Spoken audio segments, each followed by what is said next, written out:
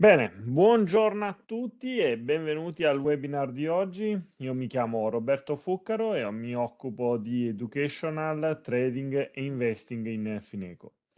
Oggi, come, eh, qualche, eh, come ogni lunedì, andiamo a vedere quelli che sono i mercati finanziari, la settimana che è appena trascorsa sui mercati finanziari. Andremo a vedere sia il carattere eh, che sono stati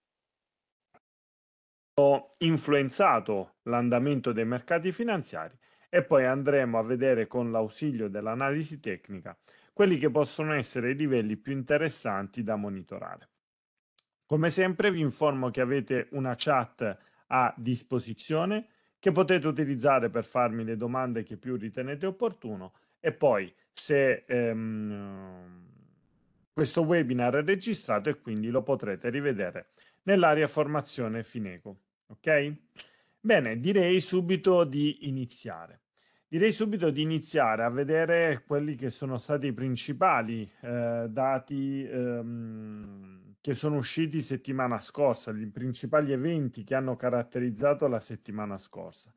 Due sono stati quelli principali sono stati la Federal Reserve, quindi la riunione della Federal Reserve, che ha portato la Fed ad alzare per la decima volta consecutiva il tasso, de, il, um, il tasso di riferimento, portandola al 5,25%, e poi è seguita subito dopo la... Um, è seguita subito dopo la riunione di Jerome Powell. La riunione di Jerome Powell dove era quella più attesa eh, dagli analisti, dai trader e dagli investitori. Perché? Perché ormai si vedeva anche dal sito del, eh, del CMI che fa vedere appunto quelle che sono le probabilità di rialzo dei tassi di interesse ormai il mercato dava per scontato per il 98% di un rialzo dei tassi di interesse al 5,25%. Quello che è stato detto però non è che sia tanto piaciuto agli investitori, almeno in quel momento, infatti il mercato era arrivato a eh, chiudere in territorio negativo. Quello che ha detto di Jerome Powell è stata che eh, ci sarà una pausa, ok? Ci sarà una pausa nel rialzo dei tassi di interesse, quindi questi tassi di interesse per il momento rimarranno tali, al 5,25%. Però che cosa ha detto? Eh, sicuramente non ha detto, quello che non ha detto è stato appunto quello che saranno le prospettive di quando saranno tagliati questi tassi di interesse, ma ha avuto un tono molto da falco piuttosto che da colomba. Un tono da falco perché ha detto che si, dobbiamo tenere monitorato quelli che sono i dati macroeconomici che arriveranno, come l'inflazione e come anche il mercato del lavoro e come anche il rallentamento che c'è in questo momento sul PIL, sul, predetto, sul prodotto interno lordo americano e che può portare poi a delle decisioni ehm, macroeconomiche, decisioni scusate di politica monetaria che potrebbero poi far variare questi tassi di interesse. Quindi attenzione alla inflazione, ok? L'inflazione che, eh, il cui dato uscirà mercoledì di questa settimana e soprattutto al mercato del lavoro, ok? Mercato del lavoro il cui dati sono usciti settimana scorsa e vede ancora un tasso di disoccupazione ancora molto basso, cioè pari al 3,4% ed è un tasso di disoccupazione che in questo momento ci fa vedere ancora come il mercato del lavoro sia molto forte, sia molto forte. Anche ehm, uh, i, i, dati sulle nuove assunzioni sono state molto forti, circa 221 mila nuovi assunti ehm, nei vari settori nel mese di aprile. Quindi di conseguenza questo ci fa vedere che il mercato del lavoro è ancora molto forte. I dati sulla, ehm, sulla CP, cioè sull'inflazione, eh, usciranno questa settimana. Vi faccio vedere quella che è il grafico dell'inflazione che ho scaricato dal Wall Street Journal e come possiamo vedere, vediamo come la direzione dell'inflazione, dell'andamento dell'inflazione sia quella corretta, anche se ripeto, come dico in, in qualsiasi altro webinar che, che, ho fatto, quella che la Fed guarda più da vicino non è quella all items, cioè quella con tutti ehm, con tutte le componenti, quindi anche quelle alimentari o quelle energetiche, ma guarda quella core, cioè quella depurata dalle componenti energetiche e dal food quelle alimentari. Perché? Perché sono più volatili. Guarda quella core e quindi di conseguenza vediamo che l'andamento è quello giusto, cioè quello di un ritorno verso il target del 2%. Ma quella core vediamo che ha un andamento molto lento e quindi di conseguenza se viene confermato questo andamento molto lento, quindi questo eh, ritorno molto lento al target del 2%, è molto probabile anche che da qui ai prossimi eh, mesi o addirittura anni non ci potrà essere un taglio dei tassi di, di interesse ci sarà un riadeguamento magari in base a quello che è il, l'inflazione raggiunge, ma un taglio drastico in questo momento, vista la situazione che c'è sul mercato del lavoro, ripeto, e sull'andamento dell'inflazione molto lento nel, nello scendere e nel riadeguarsi al target del 2%, è ancora mh, poco plausibile. Va bene? Quindi eh, facciamo attenzione a questo dato che uscirà mercoledì. L'altro, eh, ehm, diciamo, evento che ha caratterizzato settimana scorsa è stato la riunione della BCE che ci vede un po' più da vicino. La riunione della BCE che ha portato i tassi al 3,75%, e che cosa ha detto Lagarde? La Lagarde, anche essa ha affermato, ha avuto dei toni da falco, dove ha detto attenzione che a differenza della Fed, dove abbiamo detto che interrompe per il momento il rialzo dei tassi di interesse, noi non ce lo possiamo ancora permettere. Quindi ci sarà un rallentamento un rallentamento del rialzo dei tassi di interesse ma attenzione, non ci sarà una pausa. Ok? Non ci sarà una pausa. Un rallentamento che cosa vuol dire? Vuol dire che i tassi, il, pro, il prossimo aumento dei tassi di interesse sarà di 0,25%. Ok? Quindi ha detto, ha escluso che ci saranno i, eh, i prossimi rialzi di 0,50 ma ci saranno comunque di 0,25. Christine Lagarde, come vi dicevo, ha utilizzato dei toni un po' da falco proprio perché ha detto che le, ehm, l'outlook, cioè le previsioni di quelle che sono le inflazioni, rimangono ancora molto alte, ancora molto rischioso interrompere in questo momento il rialzo dei tassi di interesse. Quindi outlook CPI ancora molto alto. Tenete presente anche una cosa, dobbiamo tenere presente che questo inizio del rialzo dei tassi di interesse, quindi questa politica monetaria restrittiva, la BCE l'ha iniziata molto tempo dopo rispetto all'America. E quindi di conseguenza ci troviamo, la Banca Centrale Europea si trova ancora un, qualche passo indietro nella lotta all'inflazione e ci troviamo ancora con un'inflazione che continua a salire in, eh, nella, zona, nella zona euro. In Italia, in Spagna, l'abbiamo visto anche in Germania che inizia ad essere mh, anche più problematica E quindi la, la, BCE e Christine Lagarde affermano che non ci potrà essere una pausa dei eh, rialzo dei tassi di, ehm, dei tassi di interesse. Va bene? Que- questo cosa potrebbe comportare? Potrebbe comportare un differenziale dei tassi che si assottiglia. Ripeto, la BCE al 3,75%, la Fed e al 5,25%. Questo differenziale si può assottigliare, ripeto, e, e, da dove lo stiamo vedendo? Lo stiamo vedendo con eh, l'andamento dell'euro-dollaro.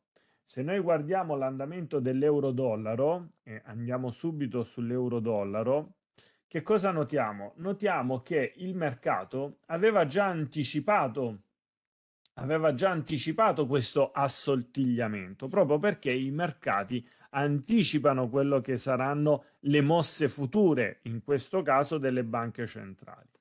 E quindi quando qui il mercato aveva, eh, diciamo, eh, scontato una Fed più aggressiva rispetto alla Banca Centrale Europea, qua invece il mercato sta scontando una Fed che interrompe questo rialzo dei tassi e una BCE invece che continua ad alzare i tassi. Si prevede che possa arrivare ad un 4,25, ad un 4,50% la BCE, però, ripeto, dipende tutto da quello che sarà l'inflazione. Intanto l'euro-dollaro continua ad, ad, essere laterale eh, negli ultime settimane, quindi sembra che l'area degli 1,10 sia un'area molto ehm, fatta di resistenze, quindi fatta da venditori e come possiamo vedere qui il mercato stenta a salire. Mettiamo anche le medie mobili per capire meglio com'è l'andamento ehm, di breve, medio e lungo periodo. Che cosa vediamo? Vediamo che il mercato si è avvicinato molto alla media mobile a 20 periodi, vedete che prima faceva da supporto dinamico, è pronto diciamo a rompere al ribasso questa media mobile però vediamo che è al di sopra sia della media mobile a 120 ehm, che sulla media mobile a 200 periodi. Sta di fatto che ripeto l'area degli 1,1040 o 1,1050 è un'area ancora fatta da venditori la possiamo contrassegnare con questo rettangolo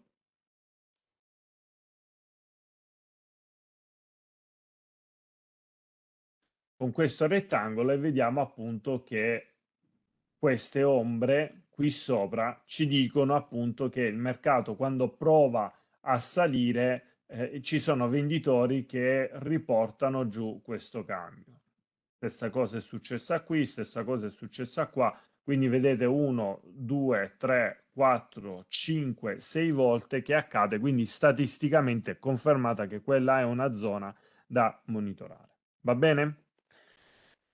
Un andamento laterale che eh, lo stiamo vedendo anche sui vari listini, lo stiamo vedendo anche eh, in Europa con il nostro Fuzimib, un andamento laterale che eh, sta eh, ha contrassegnato sia il, um, le prime settimane del mese di maggio che le ultime di, di aprile. Che cosa vediamo? L'ultimo webinar che abbiamo fatto avevamo visto appunto che il mercato stava facendo una falsa rottura e quando ha fatto questa falsa rottura abbiamo detto che bisogna stare attenti perché siamo con un mercato tiratissimo che Ehm, che si trova su una resistenza importante che eh, la, la, vediamo anche su un time frame di più lungo periodo, di più lungo periodo. Quindi ci troviamo davvero su resistenze di lungo periodo e le resistenze di lungo periodo sono molto difficili da superare e soprattutto perché poi ci trovavamo anche in una zona di ipercomprato scusate, scendo a due anni per andare di nuovo sul giornaliero, in una zona di ipercomprato molto forte. Quindi come possiamo vedere in, qui c'è stato il false breakout, qui c'è stata questa presa di liquidità che ha portato il mercato a scendere, ritestare e poi di nuovo scendere. Avevamo individuato anche come area di eh, primaria di demand questa zona qui, questa zona qui, che bene o male ha sentito. Ha sentito, vedete, l'aveva sentita qua, l'ha sentita qua, l'ha sentita bene o male qua e poi è ripartita. Sta di fatto che, andiamo a mettere le nostre medie mobili, sta di fatto che sul breve e sul lungo periodo il trend non è cambiato, rimane ancora un trend rialzista, rimane.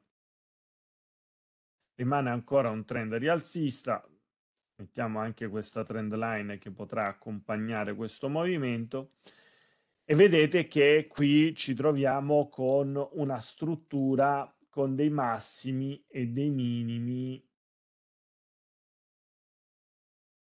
rialzisti, ok? Uh, massimi e minimi rialzisti. Quello che noi però dobbiamo andare a vedere è anche la microstruttura. Vedete che all'interno di una struttura ce ne sono alcune ancora più piccole che sono quelle di breve periodo. Quindi se noi ci focalizziamo ad esempio su tutta questa struttura, cioè su tutto questo rialzo, vedete che all'interno ci sono stati dei mini piccolissimi ritracciamenti, ok? E di conseguenza questi possono essere presi in considerazione come livelli di struttura. Ora, se noi andiamo a vedere qua, che cosa notiamo? Notiamo abbiamo detto che sul lungo medio periodo il mercato continua ad essere rialzista. Sul breve periodo, ed è confermato anche dalla media mobile a um, media mobile di 20 periodi, è iniziata ad essere un po' ribassista perché ha rotto quest'area, ha rotto quest'area, questo minimo, vedete che questa ultima struttura era fatta in questa maniera, rialzo, ribasso, rialzo, ribasso, rialzo. Questo minimo era il nostro, quello che chiamano change of character, cioè il cambio di struttura.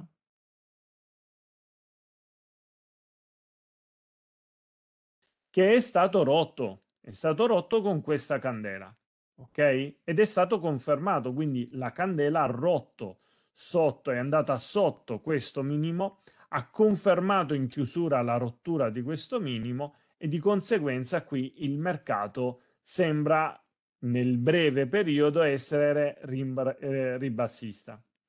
Ovviamente ora che cosa succede? Succede che c'è un rimbalzo, c'è un rimbalzo perché le forze che diciamo stanno governando in questo momento sul mercato sono di lungo periodo. Però attenzione quando succede una cosa del genere. Punto primo, se operate di breve termine dovete ovviamente andare a vedere un po' quella che è la struttura di breve termine, ok?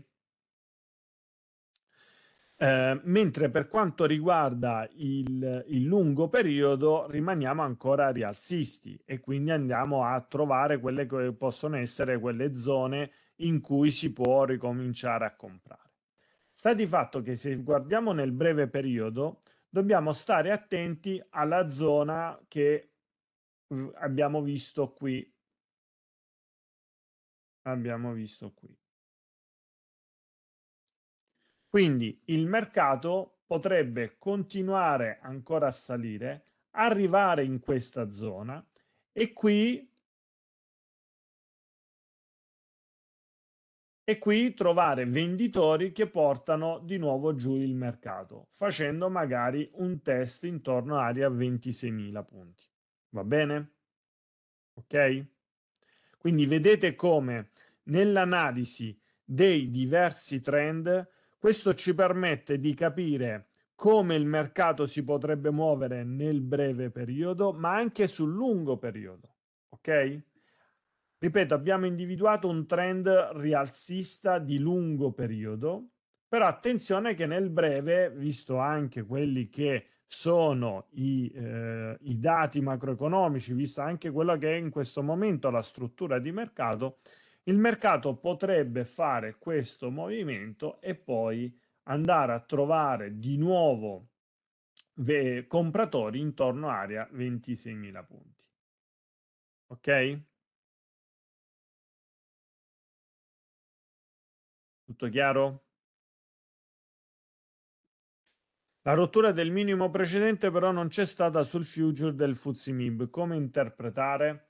Eh, la si può interpretare comunque che sull'indice perché in, in questo caso sulle rotture è l'indice che comanda, ok? Quindi è l'indice che è composto dai vari panieri di azioni, in questo caso parliamo di azioni italiane, e di conseguenza se c'è stata questa rottura poi il future eh, in base a quello che sarà l'andamento dell'indice si dovrà adeguare, gli arbitragisti dovranno adeguare eh, l'andamento del future, va bene? Quindi facciamo attenzione soprattutto all'area dei 27.950 punti, ok?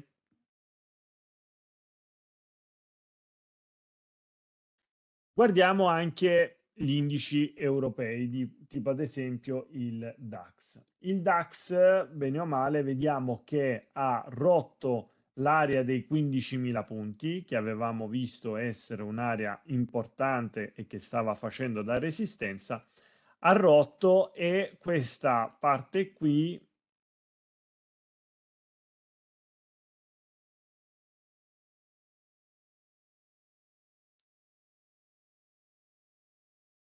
Vediamo se riesce a... Ok.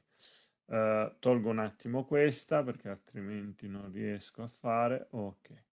Questa parte qui ora sta facendo da supporto.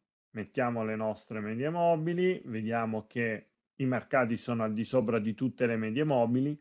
Però che cosa vediamo? Vediamo che la struttura di mercato, facendo riferimento a quei concetti che abbiamo visto prima, rimane rialzista ok?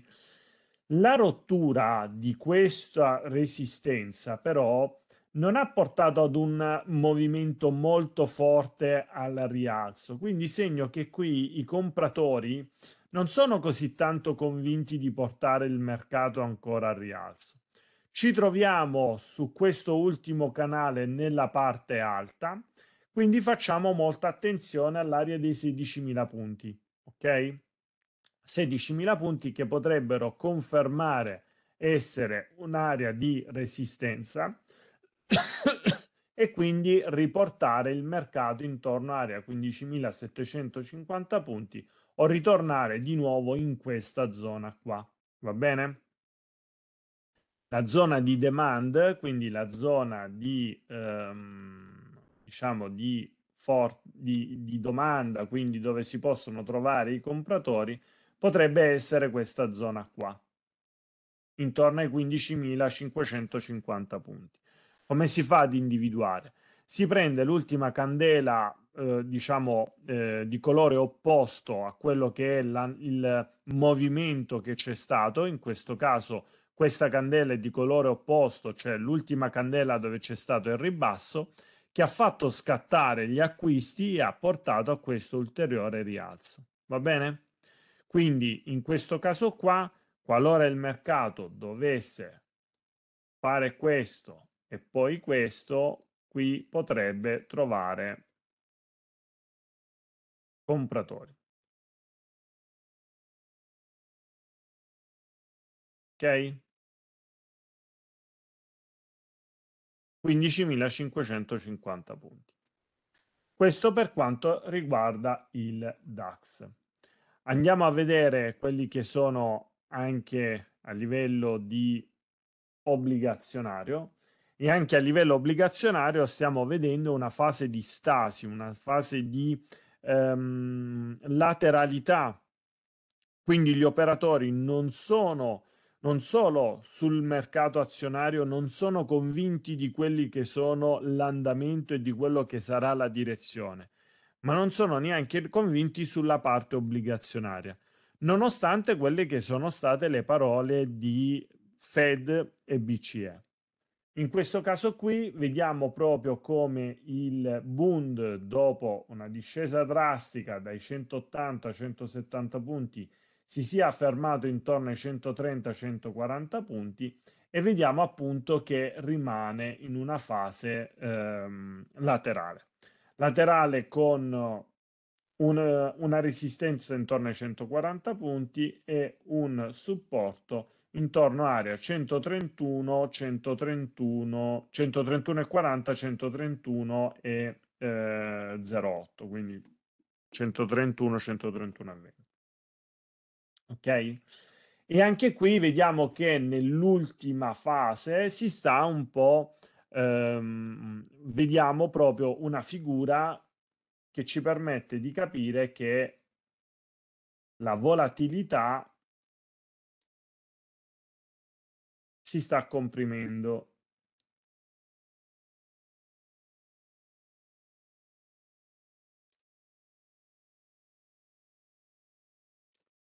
Ecco qua.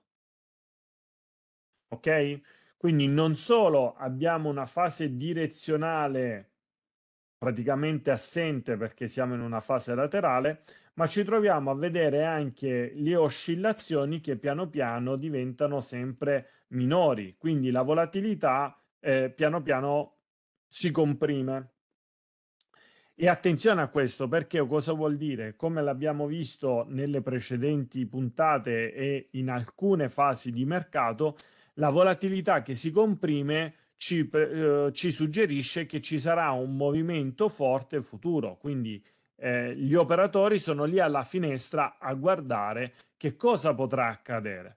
Magari ci potrà essere ancora qualche annuncio da parte delle banche centrali, ci potranno essere dei dati macroeconomici che potranno eh, sorprendere quelle che sono le aspettative degli investitori, degli operatori, un'inflazione che continua ancora a crescere. Ci possono essere varie variabili che possono portare a far esplodere questa molla e quindi avere poi un movimento direzionale.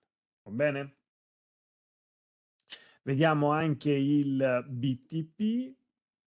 Il nostro BTP, come potete vedere, ancora peggio, eh, oltre a non avere più una fase direzionale, perché siamo in una fase laterale, la, uh, i movimenti sono minimi, e quindi anche qui ci troviamo in una situazione ehm, in cui c'è tanta attesa da parte degli operatori.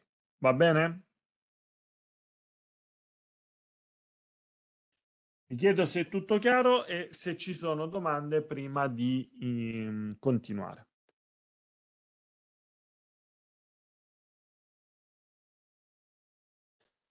Perfetto, ok. Passiamo all'America. Passiamo all'America con lo Standard Poor's 500. Allora, che cosa abbiamo detto dell'America? Avevamo detto tutta quella che è la parte della Fed con Jerome Powell che dichiara la pausa del rialzo dei tassi di interesse, ma attenzione perché in America non c'è solamente la Fed sotto i riflettori. Ma ci sono altre due cose da tenere in considerazione, due cose. La, primi, la prima è quella che è la crisi delle banche eh, regionali. Questa crisi che continua ad andare avanti e quindi è, eh, siamo in una fase mh, mm, di volatilità delle piccole medie banche che ovviamente stanno vedendo un deflusso da parte dei correntisti per andare a eh, rimpolpare i bilanci e soprattutto le casse delle grandi, ehm, delle grandi banche. Abbiamo visto l'ultima operazione che c'è stata dove JP Morgan, JP Morgan ha rilevato alcune attività, ovviamente quelle più sane, di ehm, First Republic e quindi sembra che ci sia un po' una, uh, una sorta di um, una sorta di deflusso, una sorta di um, sia appunto di deflusso da parte dei correntisti che hanno uh, conti correnti aperti in queste piccole banche per andare verso quelle grandi banche. Ok?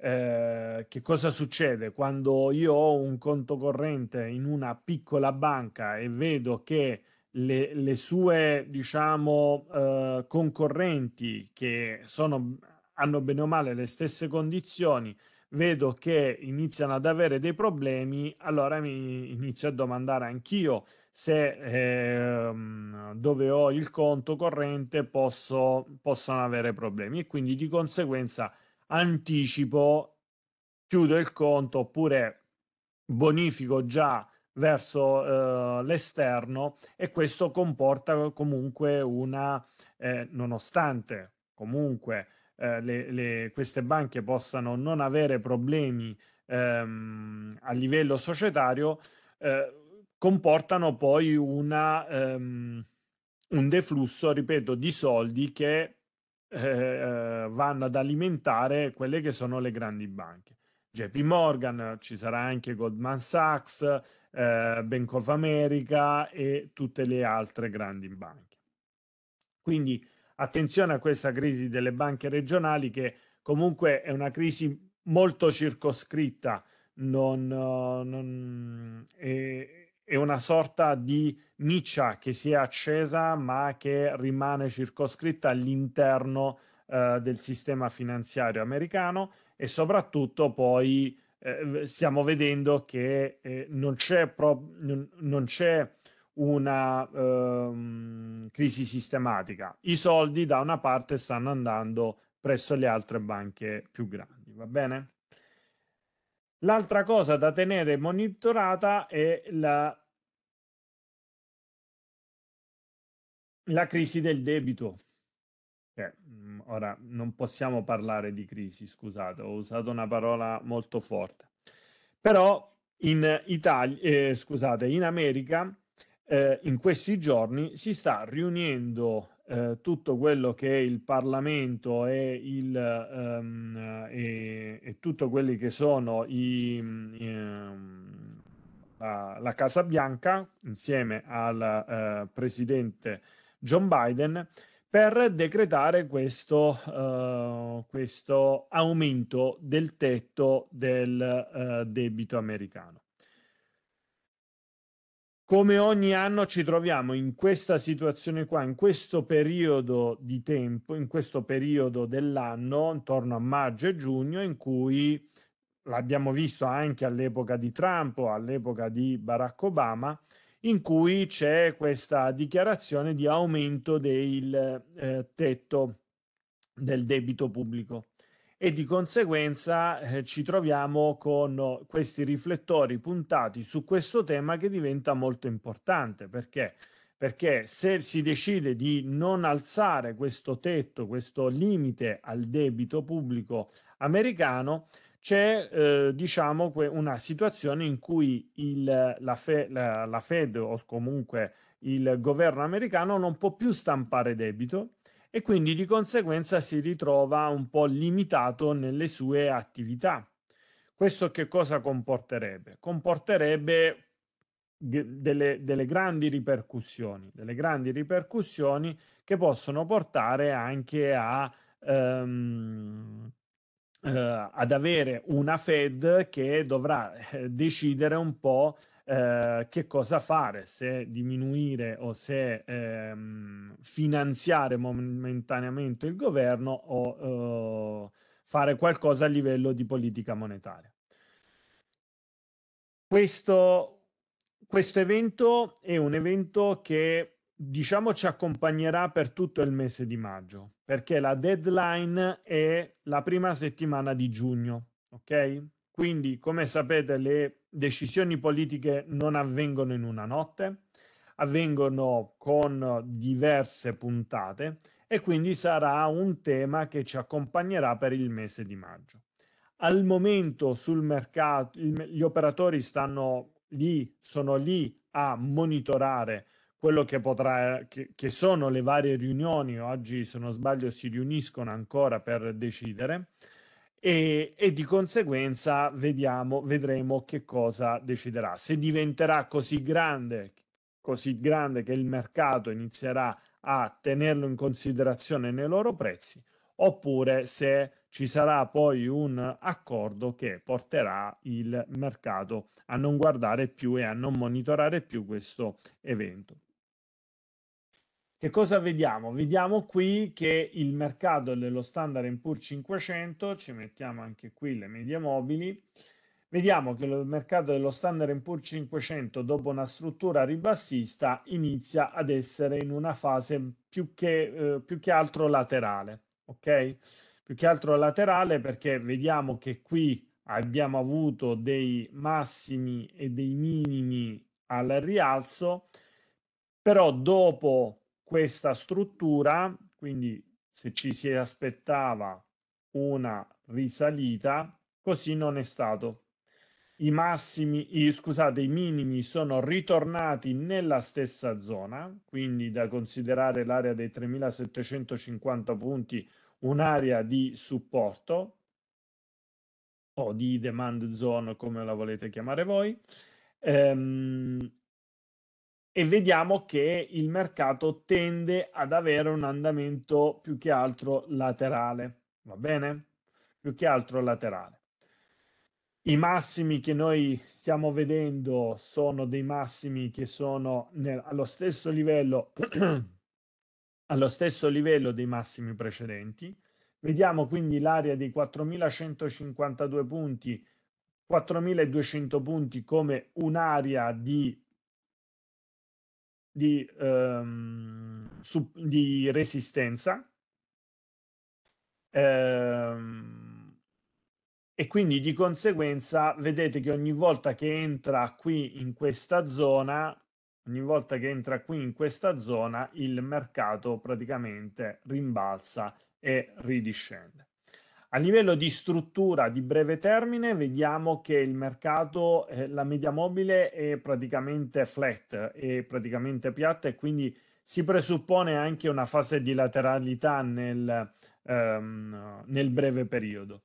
Staremo a vedere come si comporterà, se ritornerà intorno all'area 4200 punti oppure se scenderà e romperà l'area dei eh, 4000 fatemi prendere il mirino, 4.000 punti, ok? 4.062 punti. Se rompe quest'area qui, che ce la segniamo,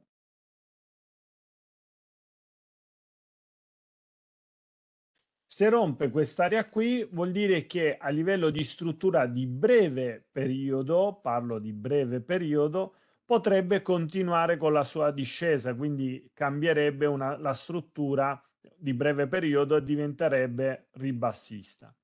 La struttura di lungo periodo cambierebbe solo ed esclusivamente qua sotto, sotto i 3750 punti. Ok? Quindi ripeto, siamo in una fase laterale, siamo in una fase laterale.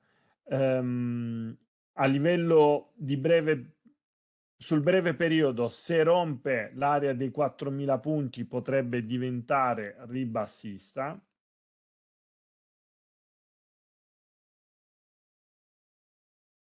Se rompe anche questa zona qua, allora qui il mercato continuerà ad essere anche nel lungo periodo potrà essere eh, potrà avere una struttura ribassista. Va bene? Viceversa, se il mercato dovesse rompere definitivamente, quindi qua rompere e voglio qui una chiusura settimanale al di sopra dei 4.200 punti, allora il mercato avrebbe, con, avrebbe una ehm, struttura rialzista e quindi potrebbe poi ricominciare la sua salita. Va bene? Quindi le due ipotesi sono queste, anzi le tre ipotesi pot- possono essere queste. Fase laterale, se rompe l'area dei 4065 punti, struttura ribassista nel breve periodo, con target intorno all'area 3750 punti. Se rompe invece i 4200 punti con chiusura settimanale, quindi chiusura weekly, allora il mercato potrà continuare con la sua salita. Va bene? Quando facciamo le analisi, noi ovviamente non possiamo, in, non possiamo li, limitarci nella nostra analisi ad una sola ipotesi. Il trader fa delle ipotesi e in base a quella che eh, si avvera ehm, segue quell'ipotesi. Ok? Quindi la pianificazione della propria giornata di trading deve avvenire così. E di conseguenza poi una volta che si è davanti allo schermo e i prezzi faranno prenderanno una di quelle due o tre ipotesi che si sono ehm, che si sono studiate si applica il piano che si che si era preparato. Va bene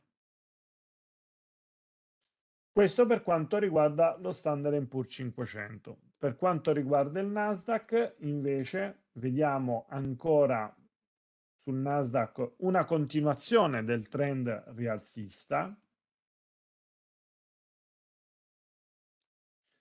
Eh, attenzione perché qua, ne, dopo la rottura di questo massimo qui, il mercato non è salito così tanto ehm, ha fatto un piccolo test proprio vicino a quella che era una resistenza e che poi è diventata supporto e adesso sta di nuovo risalendo. Però come possiamo vedere, come possiamo vedere, l'area che c'è intorno a 13.353 punti sta facendo da resistenza. Ok? La vediamo qui, che ha fatto da resistenza la vediamo qui che ha fatto da resistenza, la vediamo qui 3, 4 volte. Quindi attenzione a quest'area, va bene? Attenzione a quest'area. Se dovesse rompere quest'area, ci sarebbe già ancora un'area di più lungo periodo molto forte che potrebbe contrastare ancora la salita. Per, e questo è il massimo del agosto 2022, quindi circa il massimo di un anno fa ed è anche il ritracciamento del 50% di Fibonacci di tutta questa discesa. Quindi, qualora il mercato dovesse avere forza nel breve periodo a salire, il Nasdaq, troverebbe delle forze ancora più forti. Ok? Quindi qui il mercato potrebbe fare questo per poi invertire la rotta. Prima ipotesi. Se invece il mercato dovesse decidere che questa è una resistenza, potrebbe ritornare intorno alla zona di demand, che è questa zona qua, intorno area 12.720 punti, quindi questo, questo, oppure questo, e poi questo, se dovesse rompere invece definitivamente, qui vorrei più una chiusura weekly, una chiusura weekly della, di questa parte qui, di questo minimo qua, allora il mercato potrebbe continuare a scendere intorno area 12.000 punti. Ok? 12.000 punti dove troverebbe quest'area di demand molto importante. Va bene? Quindi ripeto, prima ipotesi, rompe i 13.300 punti, però si scontra contro la resistenza di lungo periodo e poi ridiscende. Seconda ipotesi, non, non, non, ci prova neanche a salire, ma scende direttamente e si scontra con questa zona di demand. Se dovesse rompere anche questa zona di demand, allora il mercato potrebbe arrivare intorno all'area 12.000 punti. Ok? Se dovesse, altre ipotesi, rompere questo e poi anche questo, allora continuerebbe almeno fino al 61,8% di Fibonacci che corrisponde intorno all'area 14.200 punti. Ok? Però attenzione perché, ripeto, siamo, stiamo entrando in una fase, in una stagione che eh, inizia ad essere un po' ehm, priva di tanti movimenti. Eh, mancano poche società a, a, mostrare le, a mostrare le loro trimestrali. Eh, tenete conto che la maggior parte, quelle più importanti, le hanno già mostrate. L'ultima è stata proprio Apple settimana scorsa, che è salita del 4%. E quindi diciamo che la stagione delle trimestrali ha dato eh, già il suo contributo in quelli che sono i movimenti di mercato. Quello che ora il mercato si aspetta è, eh, sono appunto guardare da vicino i dati macroeconomici, come quello sull'inflazione che ci sarà su um, mercoledì, questo mercoledì. Ok? Questo per quanto riguarda anche il Nasdaq. Uh, Dow Jones, bene o male, siamo alla stessa identica situazione, fase laterale. Qua aveva provato a rompere, ma ha fatto in modo che eh, qui ci sia un forte supporto che ha riportato sul mercato, però vedete che questa zona qua è da segnare perché è una zona molto densa di venditori, molto densa di venditori.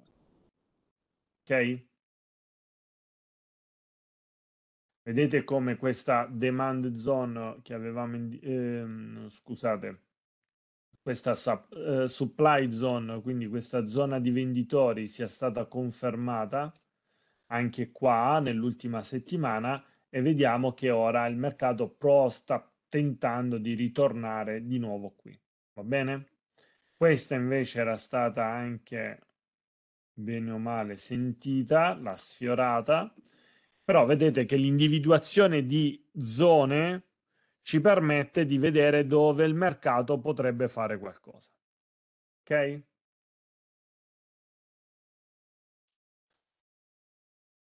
Quindi anche sul mercato americano eh, trader e investitori in attesa, in attesa di un qualcosa, in attesa che qualcosa succeda che possa innescare la direzione. Ok? Stiamo attenzione però davanti a delle resistenze molto importanti, sia nell'ambito europeo, sia nell'ambito, soprattutto nell'ambito europeo, ma anche nell'ambito sui mercati americani. Quindi affinché il mercato eh, possa superare queste, mh, queste resistenze deve succedere qualcosa di grande, ok? E quel qualcosa di grande al momento all'orizzonte non si vede. Um, vediamo un attimo le materie prime. Materie prime con il crude oil. Cosa vi dicevo l'ultima volta che ci siamo visti, l'area dei 65 dollari è un'area fortemente ehm, popolata da compratori. E infatti, come possiamo vedere, il mercato questa volta di nuovo ci è tornato. False breakout, ce lo segniamo.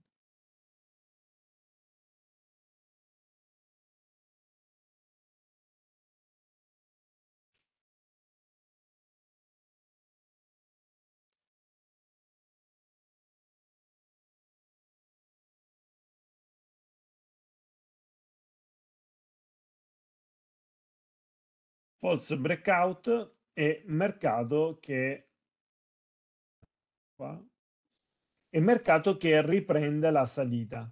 Riprende la salita e continua a salire. Quindi ci troviamo anche con un mercato del petrolio in eh, fase di lateralità ha tentato di ritornare giù ma l'area dei 65 dollari è un'area di compratori e ora sta ritornando di nuovo intorno magari l'area degli 80 dollari. Area degli 80 dollari che è un po' il contrario dell'area dei 65 dollari perché è un'area di resistenza. e un'area di resistenza. Quindi ci possiamo aspettare anche sul mercato del petrolio una fase di lateralità. Ok? Andiamo sul gold.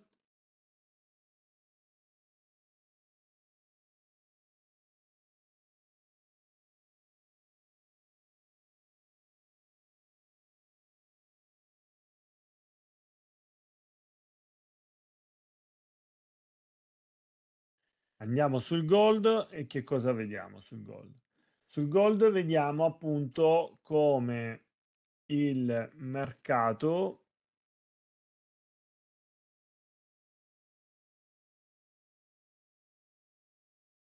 Siamo due anni.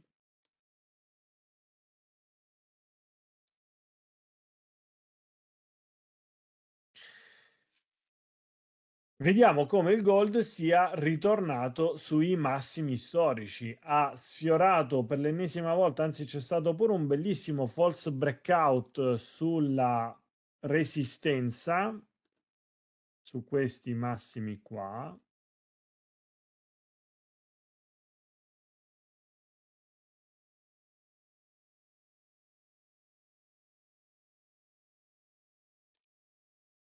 Un false breakout su questa resistenza qui e poi il mercato è sceso. L'oro è uno strumento che in questo periodo sta prendendo molto piede. Perché? Perché se il mercato non dà tante sicurezze, se il mercato azionario non dà così tante sicurezze e fa vedere che appunto c'è una fase di lateralità dove gli operatori sono un po' indecisi, c'è incertezza sul mercato azionario sul mercato obbligazionario ormai anche i rendimenti rimangono quelli, ecco che loro con eh, questa fase di incertezza e con dei rendimenti che rimangono al palo prende diciamo il sopravvento e quindi viene comprato dagli operatori che vogliono eggiarsi, vogliono coprirsi da quello che potrebbe essere il rischio di eventuali tempeste sui mercati azionari di conseguenza quindi il mercato dell'oro con, ricomincia a salire. Questo false breakout che lo vediamo sul, sul giornaliero, ma lo vediamo anche sul settimanale, il settimanale vedete che ancora meglio ci fa vedere queste ombre che ci parlano un po' proprio di incertezza ancora sui mercati. Quindi facciamo, se, se, se abbiamo dell'oro, Facciamo attenzione a questa parte qua. Uh, sul breve periodo ci possiamo aspettare che la rottura di questo livello la rottura di questo livello potrebbe portare ad, un, ad una discesa dell'oro intorno all'area 1850 dollari e ci segniamo altrimenti potrebbe stazionare ancora tra i 2000 e i 2050 dollari. Va bene? Ok? Infine, ma non meno importante, la Cina. La Cina che con la sua bilancia commerciale, ah, avevo detto che l'avrei cambiato, ma non l'ho fatto. Allora facciamolo insieme.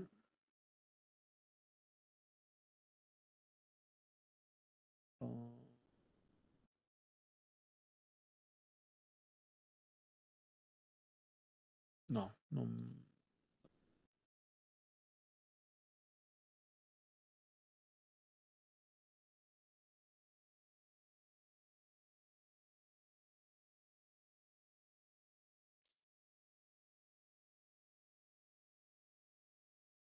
Allora facciamo uh, così. Scusate, andiamo sul sito e lo prendiamo dal sito. Ok?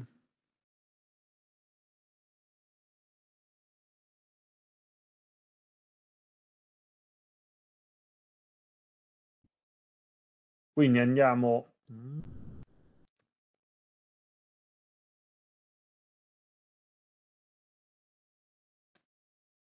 Quindi andiamo nella sezione mercati e trading.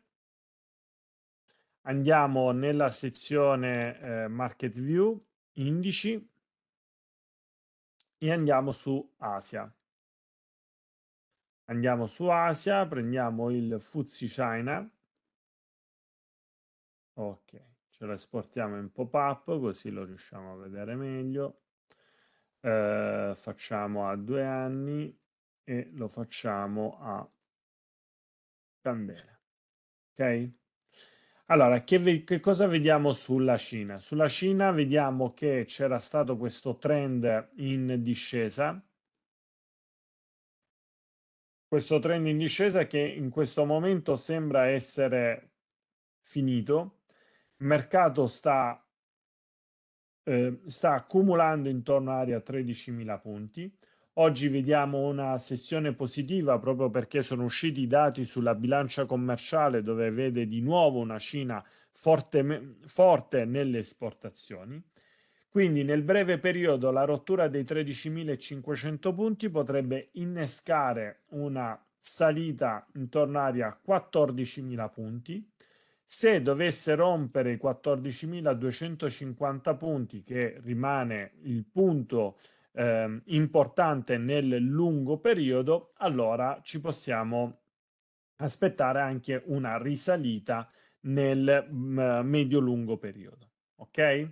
Altrimenti, qualora dovesse ritornare sotto i 12.750 punti, allora potrebbe continuare con la sua discesa. Va bene? Questo per quanto riguarda la Cina.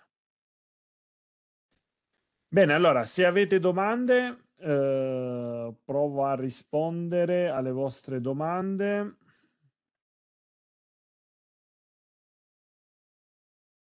Uh, c'era stata una domanda all'inizio di questo webinar dove mi era stato chiesto, eh, gradirei che possa analizzare grafici con trendline di BPR, BPM e Unicredit per poter verificare la mia corretta impostazione di canale e trendline. Solo per conferma degli studi di tendenza, grazie. Allora, uh, proviamo a vedere, quindi eh, intanto chiedo se alla, alla, persona che mi ha fatto questa domanda se eh, si riferisce a questi grafici ehm, giornalieri, ok?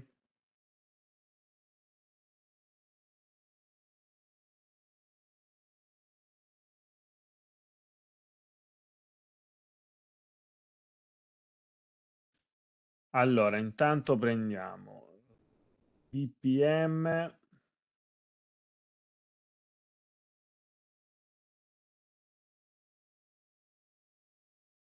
Mettiamolo a due anni.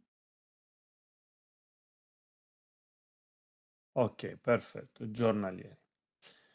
Allora, che cosa vediamo qua? Vediamo che anche qui il, ehm, il titolo BPM è in una fase laterale molto volatile, ok? Vedete che qua aveva cambiato la sua struttura, ehm, la sua struttura ehm, di breve periodo che era diventata di nuovo ribassista. Qua l'ha cambiata di nuovo portandola ad essere rialzista. Ritornando qui, allora se qua dovesse rompere definitivamente, allora dobbiamo rivedere un po' quelle che sono le nostre aspettative anche sul lungo periodo, perché la rottura qui di questo livello potrebbe dare conferma che questo sia un doppio massimo e quindi il mercato eh, di BPM scendere almeno di, di nuovo intorno all'area 2,25 euro. Um, questa trend line è stata ormai breccata. Possiamo dire che cioè, adesso la faccio bene. Eh? Questo minimo. Questo minimo. Allora, questa trend line ormai è stata breccata. Mm, io non la terrei più così tanto in considerazione. Sì, adesso la sta un pochino testando, però vedete che è perché ci sono altri livelli oltre a questa che, sta te- che uh, tengono un po' al palo questo, uh, questo strumento, che è questa parte qua. Qua c'è stato uno spike, uno spike che ha portato di nuovo i prezzi a ritornare su questi livelli, però come potete vedere quando entra in questi livelli qua il mercato poi sì, questo qua. Il mercato poi tende a ridiscendere. Vedete questa è una supply zone individuata. Vedete qua mercato che scende ritorna su e ridiscende. E sta di fatto quindi che BPM eh, sembra quasi una fase laterale molto molto volatile. Ripeto, la rottura dei 3,25 potrebbe portare ad una um, ad un cambio di struttura. Va bene?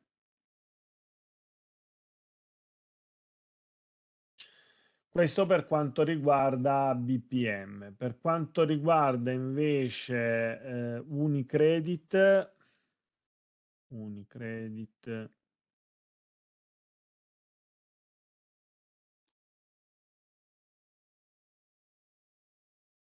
Ma Unicredit vediamo proprio anche qui, bene o male, la stessa cosa. Qua c'è stata una false, un false breakout. Ehm, false breakout un po' abbastanza strutturato. Vedete che il mercato ha provato, poi è sceso, ha riprovato e poi ridisceso.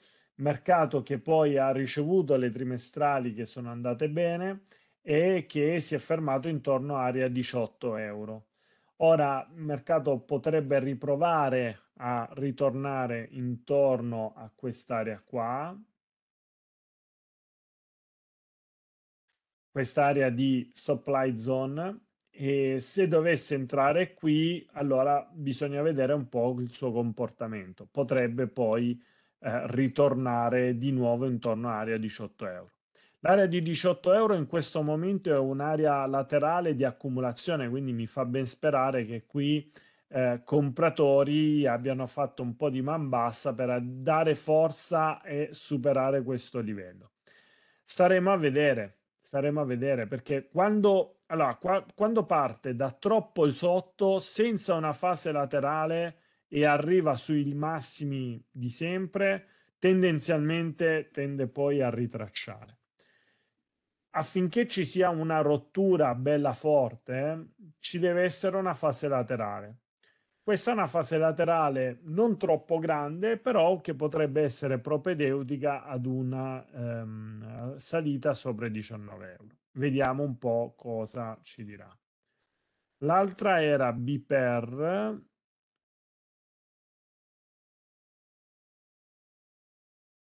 Eh, come guardare gli stessi grafici comunque. Eh? Cioè, proprio tutto il settore bancario che si è, si è un po' fermato, ecco, si è un po' fermato.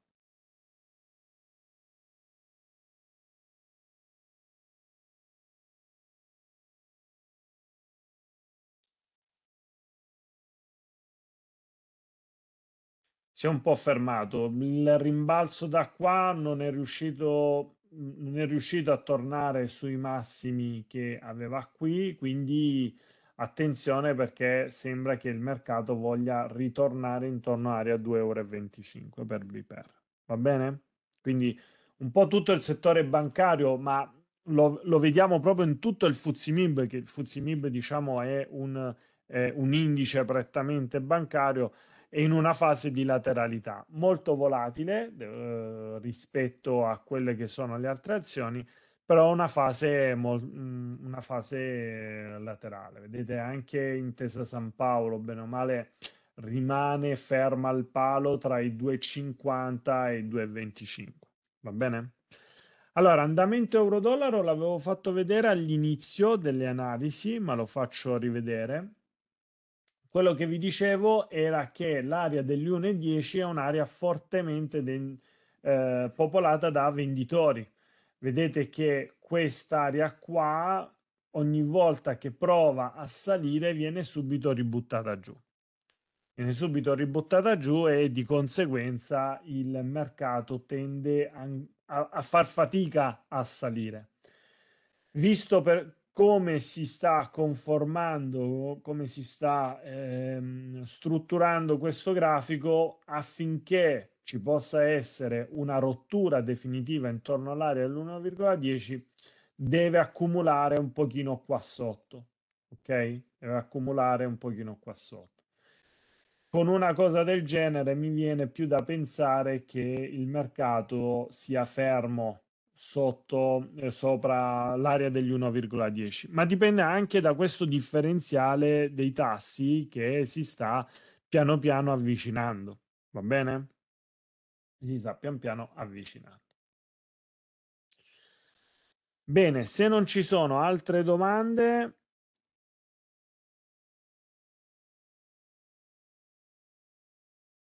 Direi che vi mostro. Perfetto.